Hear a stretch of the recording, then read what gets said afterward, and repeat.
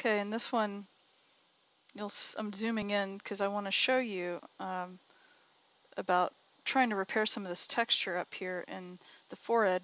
We were approaching it last time. Now I'm using, let me back up. Now I'm using the clone stamp tool. I'm going to lower the size of the brush a little bit, but we were approaching it from the other side, the right side of all this damage.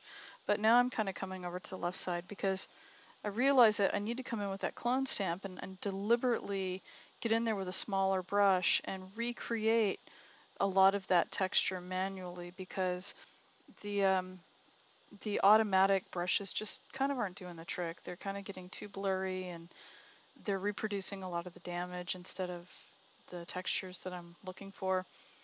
So I'm going to just keep trying to rebuild the left side of this. And, you know, if you pay attention to the values, let me lower this brush a little bit more to about seven pixels. And then in here, I can start to recreate in really small spaces.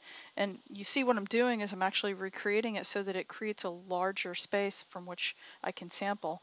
But you'll notice that the value, if you look from the left all the way to the right across what's showing in this picture right now, is that get the right brush size here, uh, is that the values change sort of from the darker values on the left in a gradient to the lighter values on the right side of, of this section that's blown up. And so it's really, really important that as you're recreating these pixels, that in a lot of ways that you kind of need to be going vertically to take your samples so that you're vertically or sort of slightly vertically diagonally um, getting the correct color, well, values of lightness and darkness. Um, and you're not, you know, sticking a dark section in a light section or a light section in a dark section. That's very important for the continuity of, of the tonal range. Otherwise, it's going to look very badly retouched. So I'm just going in. Now I'm going in with my spot healing brush and I'm, I'm correcting the things that I can with the spot healing brush and it'll let me do some of this stuff pretty successfully. But uh, at some point, we're going to get to a place where it kind of gets a little hard to reproduce some of it.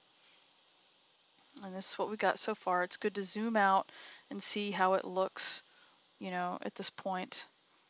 It's actually quite important. Let's uh, zoom back in a little bit here. And this section, if we go and uh, choose our clone stamp, I'm going to make the brush tiny. It's like four pixels, and I'm going to sort of start interspersing pixels inside of this damaged area so that it starts to actually create the texture that looks approximately correct. Sometimes you just have to do this, um, and when you zoom in enough, you can really start to see a lot of that texture. You don't want to zoom in too, too much because then you'll just lose all sight of what is correct. So now if I go to about a 17 pixel brush, I can start using my clone stamp to to sample and, and repair. And so far it's, it's doing a pretty good job in this, this immediate range right here. And now if you look, I want to show you how you can lower the opacity and especially where you start to get overlapping in tonal ranges because if you just reproduce too much of something here let's uh, lower it or raise it up again real quick and then I'll show you in just a second uh, how we can lower the opacity. But I'm going to create some more with full uh, with the uh, full pixels present to just get that texture re recreated.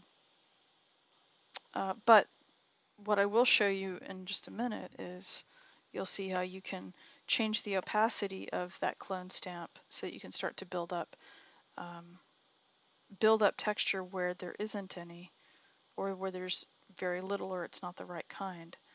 And so here I'm going to lower it now because you'll see uh, slightly, you know, in this area you can start to see where I need to add more texture to some of these blurred out areas, but I don't want it to be too heavy handed because you, you see I've got that gradient there and I need to make sure that I keep the gradient consistent from the left to the right and that's starting to look a lot better. Okay, now we have to deal with this part of the damage and we're going to sort of deal with it in a very similar kind of way. where we can go to where some of the good pixels exist. So I'm going to raise this up and I'm going to lower the hardness just a, just a hair. And I'm going to start uh, with the opacity down. I'm going to start using the clone stamp to, to layer the texture in a very careful way so that it is just very lightly overlapping it and it starts to give it sort of a more random texturized look and it seems to be doing a pretty good job so far. And I'm taking samples from different areas to go towards meeting the middle so that I don't go too far with one you know value being too dark or one value being too light, you know, like traveling into the dark area. Okay, and you can start to see that I'm starting to get a little bit of, I, the texture is pretty good, but in some places uh, it looks like there's like kind of like a line of value difference where the two edges are meeting up. And I'll deal with that in just a minute, but let's just get the texture correct. What's important is that the values aren't that far off. They're pretty similar. So I can also go in here and start doing some of the same stuff with that hairline where the damage is, where I'm layering it. And you don't want to layer it with this opacity too, too much. I'm going to raise it up because then it's just going to start to look really blurry and you don't want that to happen either.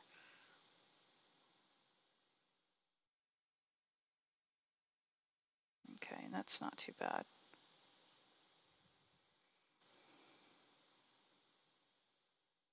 Let's lower this and now I can start to sample smaller areas. And you'll notice that I'm just like really being very detail oriented right now.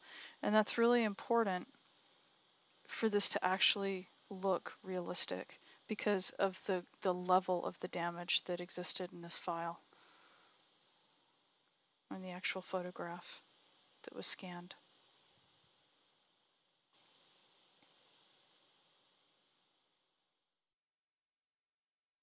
Okay, and if I come over here just under the hairline, you'll see I'm going to raise my, actually, yeah, raise my brush a little bit, and you'll see that there's still a little bit of a textural difference here. I want to go back to my clone stamp, raise my brush up, and I want to go ahead and, while the opacity is turned down, I want to start to even that texture out that's just below the hairline in the center of the forehead, above the bridge of her nose.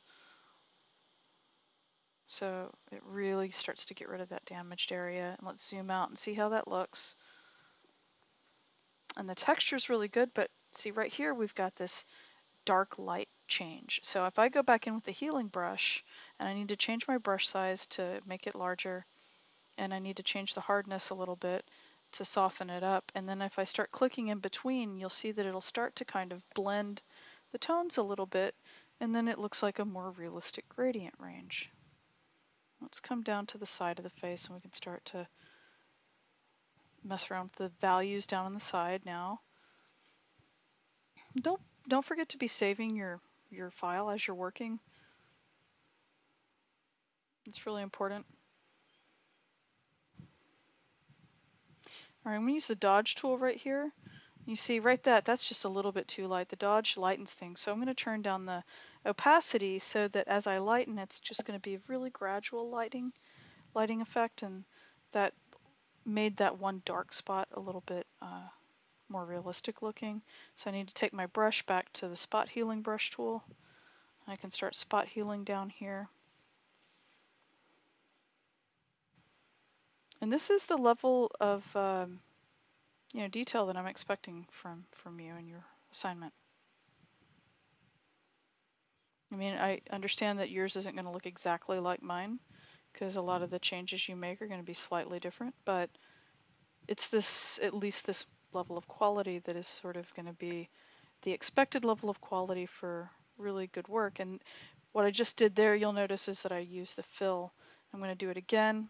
So if I use my lasso tool, then I go up here and I change, uh, I look for the fill command and I make sure that it's content aware. I'll do it again. so edit, fill. You see it's under content aware and say okay. And then it's doing basically kind of like what the patch tool does, but it's doing it automatically for us.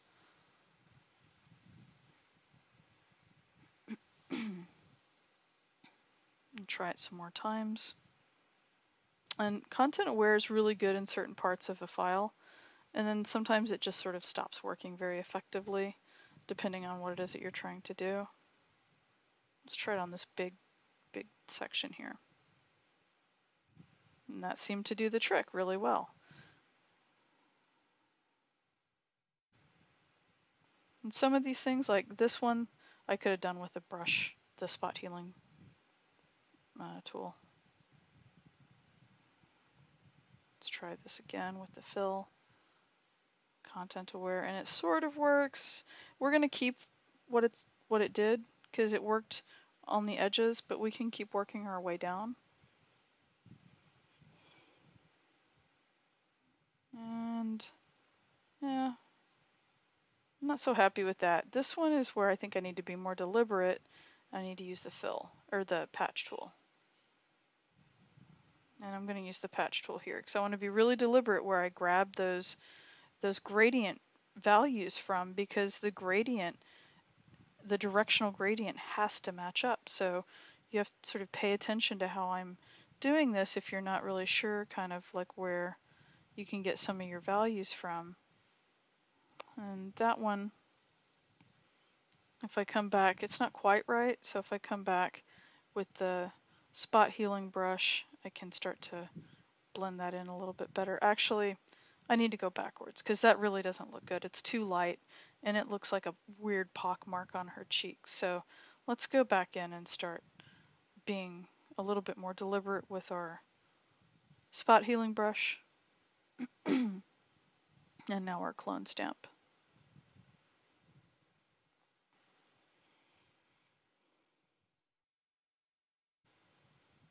and just sort of slowly work it down until it starts to just overtake the those pixels down below okay? And then it looks like a natural curved gradient on her face.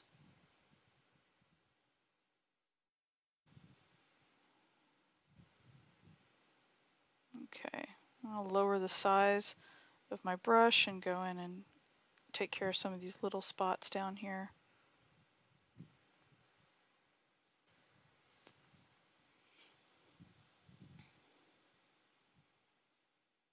change it again.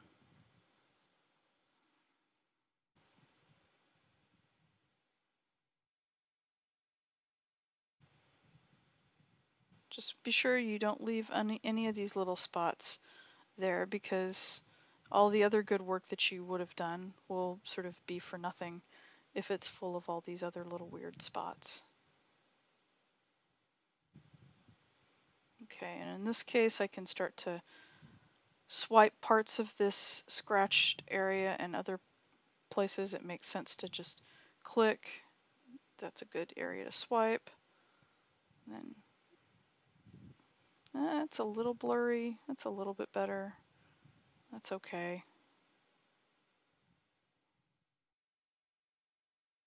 This is, seems to be working on the nostril okay. We might have to come back and fix some of that if it's a little too blurry, but let's go with it for now.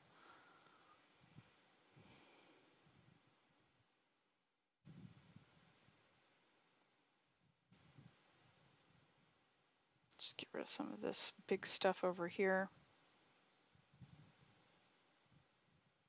And, you know, I'm not talking a whole lot.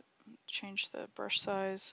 I'm not talking a whole lot, but what's important is you can just kind of watch my technique as I've got these tools selected so that if you have any questions about how I how I would approach it, you can sort of watch how I approach it and then try to reproduce some of this on your own.